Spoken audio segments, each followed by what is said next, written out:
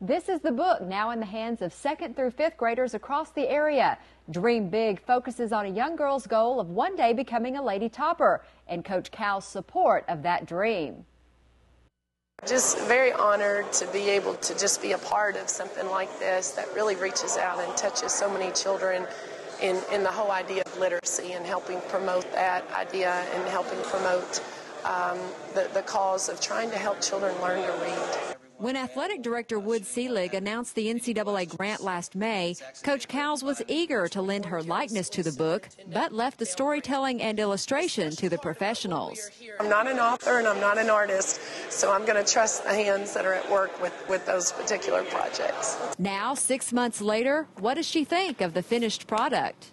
I was very tickled with the book and was even probably more excited when my three brought it home and thought how neat it was, and, and that really excited them. Dream Big is exciting kids across South Central Kentucky.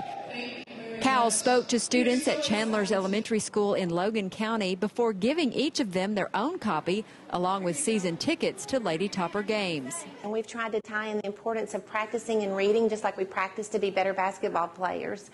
And the more you practice, then the better you'll be. It's not a punishment, it's a privilege, and I think basketball is that too because you learn a lot from both the things. Cowles was a fifth grader, just like the character in the book, when she first picked up a basketball and started to dream big. It talks about things that are truly important to me, and it talks about just the whole idea of having that big dream and setting those goals and, and figuring out a way and a plan of action to go forward to make those dreams come true.